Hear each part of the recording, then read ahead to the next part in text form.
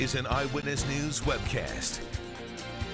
Hi, I'm Chris Langlois. Thanks for joining us. This is your Eyewitness News webcast for this Friday, August 24th.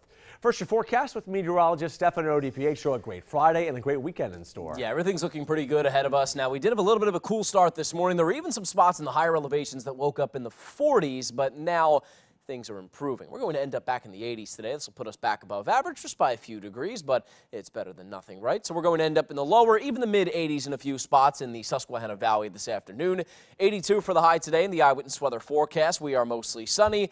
It's warm, not very humid, and not as breezy as what we saw through yesterday. Now tonight, little on the cool side again, 58 for the overnight low, 82 tomorrow, plenty of sun to go around, so essentially just a repeat day tomorrow. Clouds and sunshine on Sunday at 84, a late rain shower Monday, Tuesday, and Wednesday, upper 80s to near 90 with an isolated shower or storm, Chris. Thanks, Stefano. There's been a possible sighting of Shawn Christy in Schuylkill County overnight.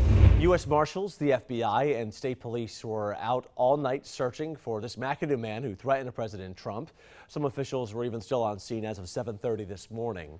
A resident in Rush Township called 911 after seeing a man who appeared to be Christy attempting to break into his building on his property around 11 last night. Residents also reported hearing gunshots after the man fled the home. Helicopters with heat-seeking radar were out searching the area, but so far he has not been captured. Ben Titus Road was shut down for over eight hours, but has since reopened. New this morning, the coroner was called to the scene of a crash in Luzerne County overnight. A vehicle crashed into the drive-through at PNC Bank along Wyoming Avenue in Kingston around 9 p.m. There's no word on the victim's identity. Kingston police are investigating this deadly wreck.